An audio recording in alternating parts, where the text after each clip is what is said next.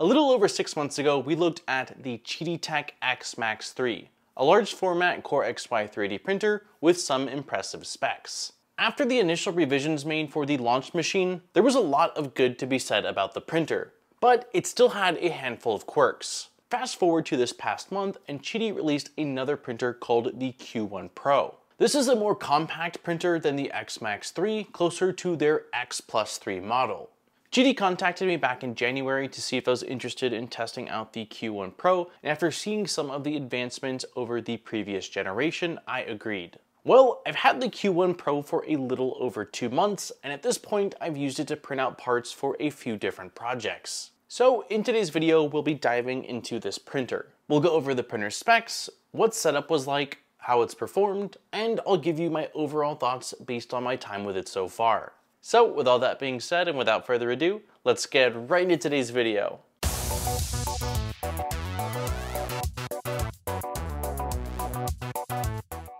Thanks to Voxel PLA for sponsoring today's video. Used exclusively in a 150 machine print farm, they now offer 15 colors of PLA Plus and 5 colors of PETG Plus. Both are available at the low price of $16.99. This is an excellent choice for anyone needing reliable and affordable materials, even for more demanding applications. Filament performance is excellent even on high-speed printers. Bulk discounts are available along with free shipping in the US when you order three or more rolls. Voxel PLA also provides high-quality 3D printer upgrades, such as the Bento Box 2-stage filter and the Bambu Lab AMS Hydra, along with many others. Check out the link in the description to voxelpla.com to find out more about their high quality affordable filaments and printer upgrades. Starting with the specs, the Qidi Q1 Pro is a fully enclosed Core XY 3D printer with a build volume of 245 by 245 by 240 millimeters.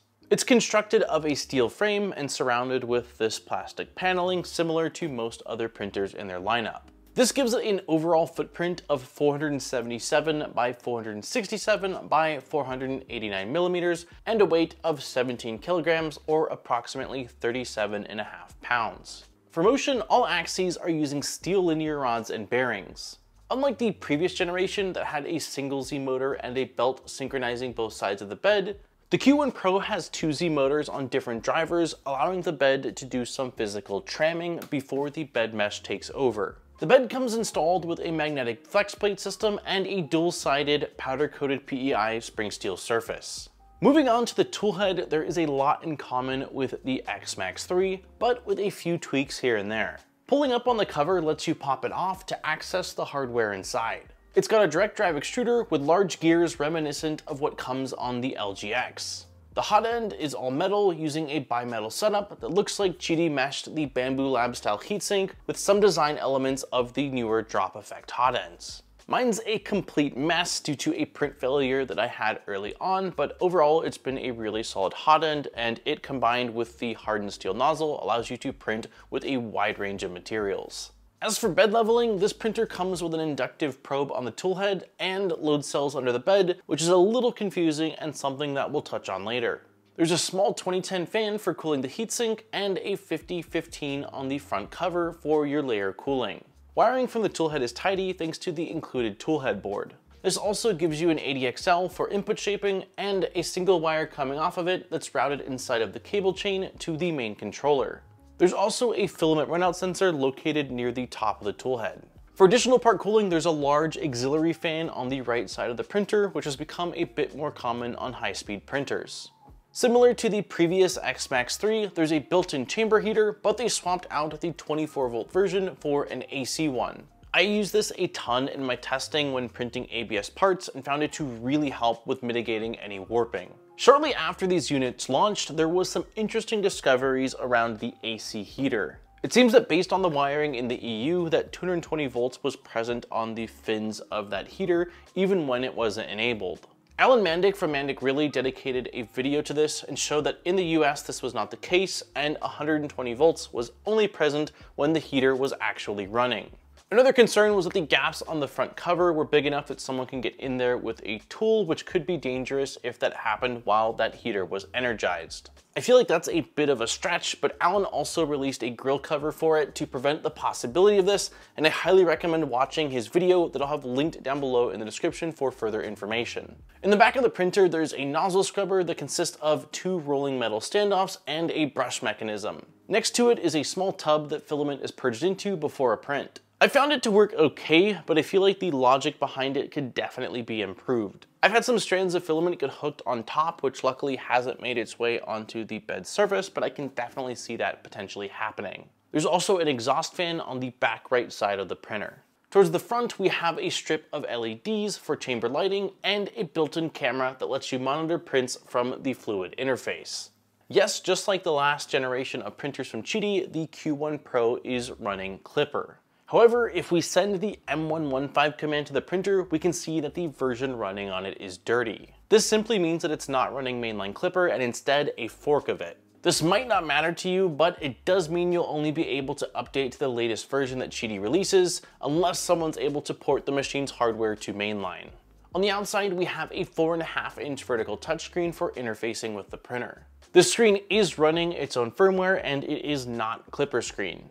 I don't mind the interface so much, but it does have a few quirks like needing a few seconds to load images on the File Explorer page, and I also wish that you could access things like Klipper macros directly from it. There's on-printer storage to transfer files through Klipper over your local network, but you can also use an included USB flash drive if preferred.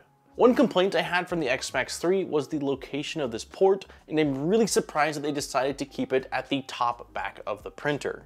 This is a smaller machine, so it's easier to access, but why they didn't extend it to the front by the screen is really beyond me. Another thing about the XMAX 3 I wasn't a fan of was the filament location. It was on the back of the printer and near impossible to reach or feed to without spinning the big printer around. For the Q1 Pro, they moved it off to the back side of the printer using an extension arm. This holder is flimsy and it still leaves a lot to be desired, but to me it's an improvement and I've had no issues loading or unloading filament from the front of this printer.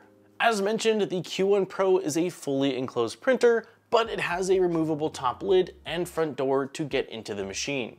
I believe that these clear panels are made out of polycarbonate.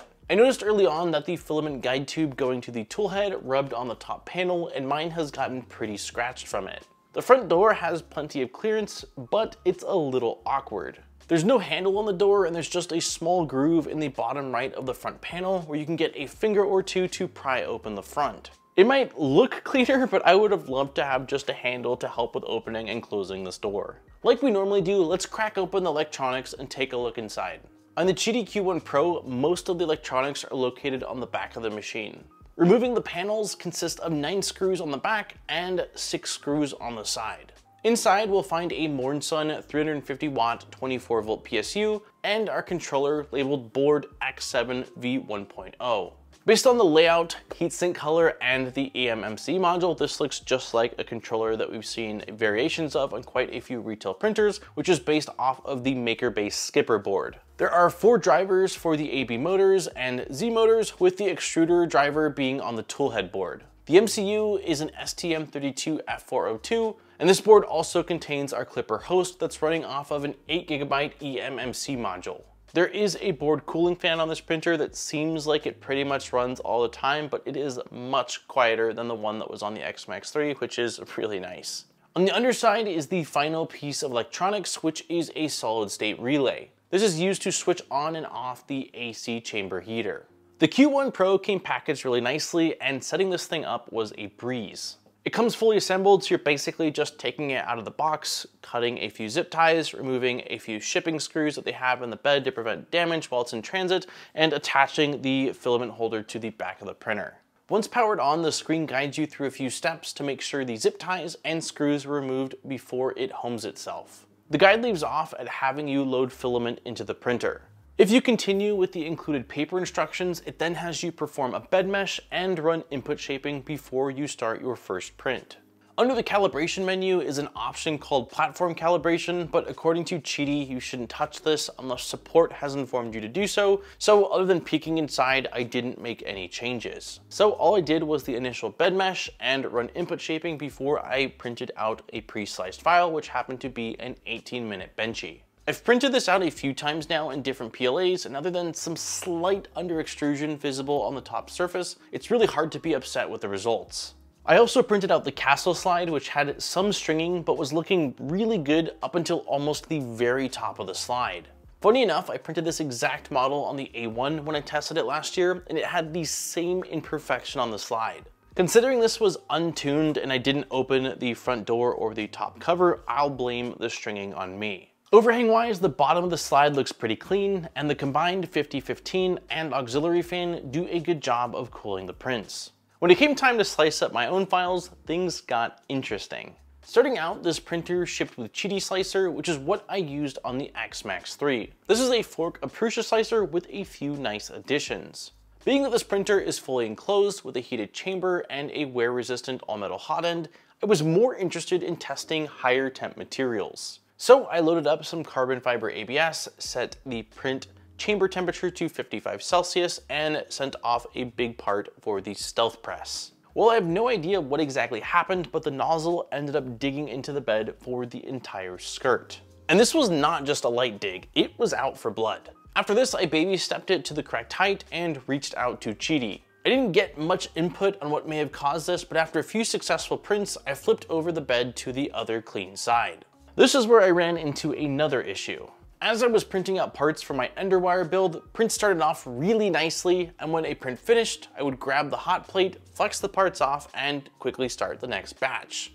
Well, doing this, I noticed that my first layer started to seem pretty inconsistent, and for just about every single print, I was having to baby step the nozzle a little bit higher up or a little bit further down, and it seemed like there was some thermal drift going on. I experimented with a few different things, and I think I've narrowed it down to being related to that chamber heater. I tried printing without the chamber heater and it seemed to give me much more consistent results requiring little to no adjustments. This sucked because to me, one of the standout features of this machine is the fact that it has that chamber heater inside of it. Little to no warping and stronger parts for high demand applications are definitely perks, but if you're fighting your Z offset and reliability, then what good is it really? Well, when I completed the Enderwire parts and switched over to printing out Journeymaker positron parts in Siraya glass-filled ABS, I turned the heater back on. However, this time when the print finished, I opened the front door and gave the printer roughly 15 minutes to cool down before pulling the plate and firing off the next print. Yes, this did mean there was a delay between jobs, but I got through all of the parts for that printer without having to adjust the Z and it's been going strong ever since. It did a really good job, and even on the larger pieces, I had zero issues with warping. Now, why the thermal drift is happening to me when I'm running back-to-back -back heated chamber jobs, I couldn't exactly tell you the reasoning. This printer has three load cells under the bed and the inductive probe in the toolhead, but ever since I got this, I've been having a really difficult time trying to figure out why they decided which actions should be using the load cells and which actions should be using the inductive probe. Meshes seem to be using the inductive probe, which may be the culprit for thermal drift. When homing, I feel like I've seen it do a combination of nozzle to bed moves and probe to bed moves. I am happy to see they got rid of the BL Touch from the X-Max 3, but this new setup has definitely left me with additional questions. I printed out a handful of models in PLA to see how it performed with tighter tolerances on some more complex models like a collapsing Celtic Dagger by 3D Printing World, a Star Wars Pit Droid Kit card by Willy 3D, and a few others, all of which it did a great job with. I have a fairly big 5 kilogram filament shelf project I'm working on using Voxel PLA's white PETG, and I printed out a large spacer jig that turned out great. There was very little stringing and the adhesion was strong across the entire build surface. Speed-wise, the firmware comes set to a cap of 20k for acceleration and a square corner velocity of 8. I stuck with defaults set in their slicer along with the profile that came out in Orca Slicer since it seems like that would be what Qidi believes is a safe balance between speed and quality. This has normal printing set to 10k acceleration and 5k for external walls. Inner walls are running at around 300 millimeters per second and outer at 200. Also for flow, they have PLA capped at 14 cubic millimeters per second and ABS at 17. I don't want to discredit this printer because it does print fast and I've been happy with the quality I've been able to achieve at these higher speeds, but it is worth pointing out that many manufacturers, Qidi included, use very high accelerations and print speeds on the marketing material when those are intended to be best case scenario travel moves and not realistic print extrusion moves. As you can see, it's been quite an adventure for me with the Qidi Q1 Pro. Things started off great, then we hit a rough patch, but we've finished up things on a fairly positive note. So what are my overall thoughts given the past two months of testing out this printer? What I was really hoping for with the Q1 Pro was an improvement over the X Max 3 I tested last year, and in lots of ways I feel like that is what this is. Although it still has large panels, visibility is much better from the front, and the added camera is a welcome addition. The camera ended up coming out as an add-on for the X Max 3 later on, but it was not an option when I tested it. I'm also really glad that the BL Touch is gone as I was having sticking issues occasionally inside of the printer, and the new spool holder is at least reachable from the front while the other was not. That being said, there are still a handful of quirks with this machine, such as the scratching of the top panel, the weird front door that doesn't have a handle, the strange cleaning routine with that brush mechanism in the back, and the even odder bed leveling setup that's going on between the inductive probe and the three load cells. On top of that, the filament holder is flimsy and they still have the flash drive location at the top back right of this printer. Those things aside, once I figured out the Z offset issue, this has been a very dependable machine for me. At $469, this feels like a lot of printer, and it's the only one I can think of with a chamber heater anywhere near its price point. If you told me you want a printer for PLA exclusively, this is not the direction that I'd be pointing you in. But if you're planning on printing with lots of higher temp materials, or higher temp abrasive materials, and you've got experience with 3D printing, and you've got some experience with Klipper, then the Q1 Pro does have a lot of potential. And that has been the Qidi Q1 Pro. I hope that you enjoyed this video and that I was able to answer the majority of the questions that you had about this machine to hopefully help you decide a bit better whether this maybe is or is not the right printer for you. If you do have any additional questions, let me know in the comments down below and I will do my best to answer. And as always, if I don't have the answer to your question, I have no problem reaching out directly to Qidi to try to get those answers for you. On that note, don't forget to like and subscribe for more great videos. We make a video every single week, so there's always fresh content coming your way. And if you do want to support the channel further, I will have links down below in the description over to our Patreon, where there are some really awesome rewards. Huge thank you to all of our existing Patreon supporters. I appreciate each and every one of you for allowing me to come back every single week and spend more time doing what I love, which is making content for you all to enjoy. On that note, this has been Daniel from Modbot, and I look forward to seeing you guys in my next video. Peace, guys.